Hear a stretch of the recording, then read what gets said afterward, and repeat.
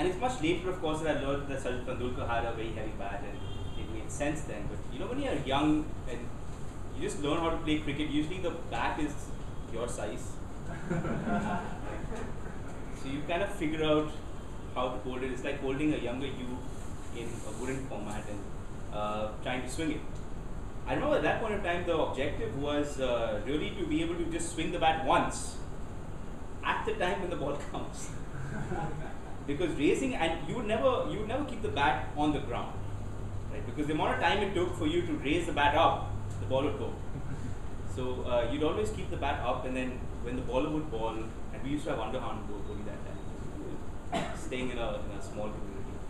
Uh, but it was a lot of fun, and it's ironic. But when you're younger, when you're say five, six, seven, eight, you're growing up, you always want to be older. When you're 8, you want to be 10, 12, you want to become a grown up, you want to be taken seriously, you want to be on your own. And the thing I, I, I find really ironic about that, and I'm sure most people do, is that there comes a moment in your adult life where you want to become a kid again.